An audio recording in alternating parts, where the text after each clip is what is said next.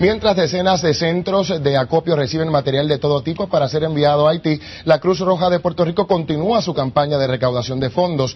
Hoy decenas de voluntarios atendían las llamadas de quienes querían hacer llegar su aportación.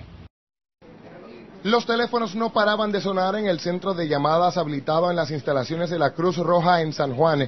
Allí los voluntarios canalizaban las intenciones de ayuda y preocupaciones de quienes llamaban. Se le pide si va a hacer la donación por alguna tarjeta este, de crédito, que es lo que aceptamos, y entonces le informamos la cuenta de banco que tenemos de RG y del Banco Popular.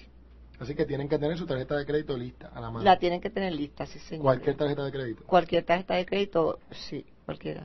Llamada para donativos, se obtiene toda la información del donante y también llamadas para personas que estén preocupadas por su familiar. Y allá se obtiene toda la información para luego hacer la gestión e investigar. La Cruz Roja no ha querido esperar a la hora de recaudar fondos que serán enviados a Haití. Sus cientos de voluntarios ya han recogido miles de dólares con la ayuda de personas que han hecho llegar sus aportaciones únicamente económicas. Según Carmen Canino, directora de la Cruz Roja en la isla, esa institución garantiza que la ayuda llegará a los afectados en Haití. Ese dinero se utiliza para eso, o sea, se utiliza para el desastre que tú quieres dar la ayuda. Eh, y entonces pues se hace una contabilidad, se hace una auditoría que están abiertas al público. Aunque los portavoces de la Cruz Roja reciben constantes ofertas de ayuda en calidad de medicamentos, alimentos o ropa, ese tipo de ayuda no será canalizada a través de la Cruz Roja. Hemos tenido un gran éxito el pueblo de Puerto Rico se ha desbordado tanto en donativos eh, en dinero como en donativos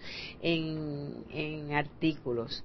Eh, ha escuchado, le hemos pedido que por favor no envíen ropa y ha escuchado, ya están comenzando los centros de acopio a embarcar las cosas hacia Haití. El próximo viernes 22 de enero tendrá lugar en el Centro de Bellas Artes de Guaynabo un maratón de recaudación de fondos en el que el total del dinero recaudado irá a parar a manos de la Cruz Roja de Puerto Rico.